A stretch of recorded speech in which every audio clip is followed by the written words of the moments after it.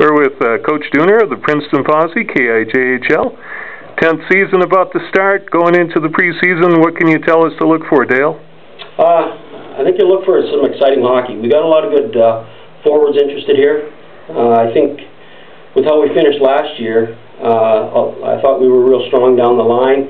So a lot of the vets coming back are pretty excited to to keep going with what what we had going last year. So I think we're, we're going to have a good year. Who are some of the vets coming back? Uh, Spencer Christensen will be our captain. Uh, he, he'll be an amazing leader for us. He, uh, he always was when he was younger. Now that he's a 20, uh, he's definitely a league all-star, and he'll be one of the, like a franchise player, basically. Keenan Forty, you know, Big, Big Keenan had a good year, most improved player for us. Uh, he's looking good. Um, we've got, uh, let's see here, uh, Devin Grosler is interested to come back.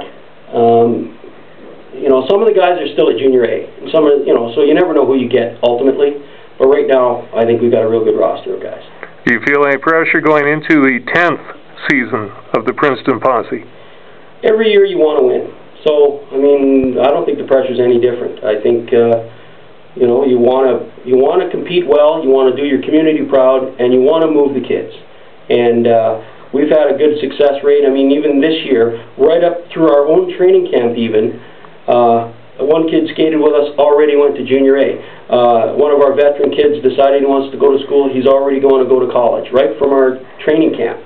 So, uh, I mean, still, some of our guys are, are still got opportunity to move on. So uh, that's why we're here, and that's why we keep getting good kids.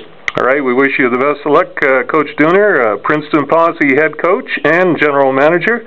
The next season is about to start this weekend with preseason. First uh, regular home season uh, game is on 16th against Spokane. All right. Thank you, Dale.